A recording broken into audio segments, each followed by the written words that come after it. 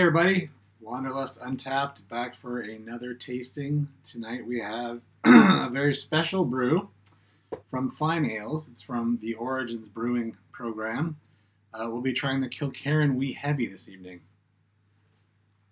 Yes, Look at that. That's beautiful, isn't it? 7.6%. Yeah, pretty strong one. What did you learn about it?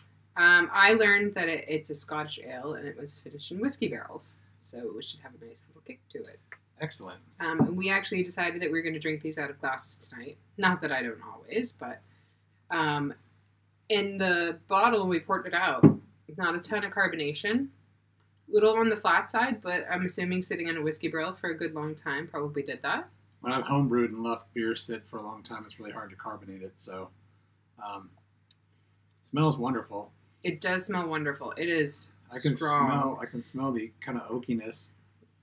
You really It's- get the whiskey flavors. It's really yeah. It smells. It smells really good. And even I'm drinking out of a glass because of the quality of this beverage. I thought only befitting something of this quality that I actually use a glass. Um, I think I really get the peatiness, which I think the label says you get sort of a peat finish. It's Oh. re- it's a nice peat finish, but it actually does taste like you're drinking like a thick whiskey. It's, oh man, it's yeah. strong. that is really good. You really get the flavors of the cask in there.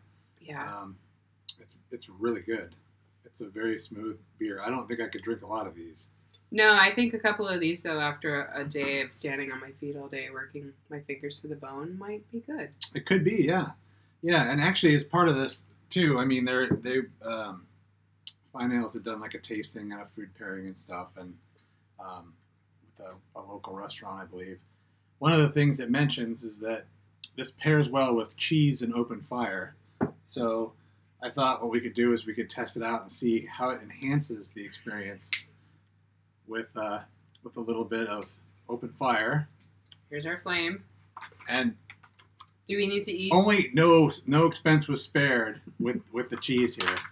But no, no. I'm not sure that that can really be called cheese. First, you need to you need to have a bite of cheese before you do that. Here. Oh, let's see. Mm. Mm, Ah. Oh, cheese. All right, cheese and flame. Actually, yeah.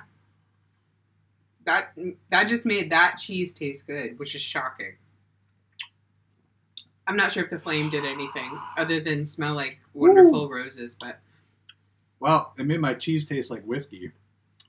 So I guess that's a good thing. well, So, Tesco executives, if you're taking note, you may want to pair up with Fyne Ales for some sort of mild cheddar slice slash uh, Kilkerran wee wee heavy uh, special edition. in disclaimer, we're probably saying Kilkerran wrong.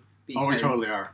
Yeah. We're saying it like it's supposed to sound, maybe by the way it's spelled, but it probably isn't said like that at all. When she said says the way it's supposed to sound uh, for two morons from uh, you know the North American side, um, yeah.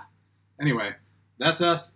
I would definitely uh, have to say this would be buy another round, although with trepidation because uh, I don't know that I would not be passed out after the first one. I think maybe it's buy another round and then hold off on this one and maybe buy another round later on with this one.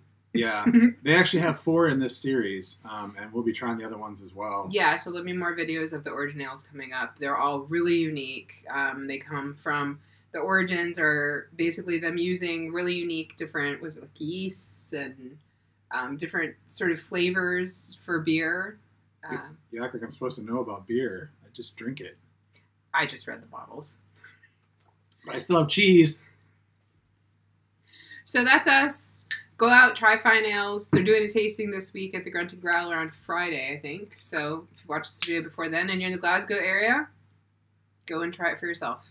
Make sure to take a lighter, open flame, but just don't light the place on fire. Right. Because they're actually really nice there. So anyway, all right, enjoy. Cheers.